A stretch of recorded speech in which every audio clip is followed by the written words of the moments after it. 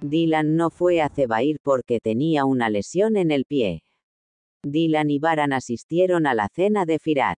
Kudret dijo, tendremos una boda adecuada para usted y la familia Carabey.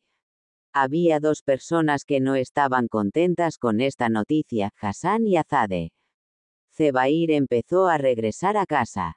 Baran le dijo a Dylan, iniciemos un negocio para usted en su propio campo.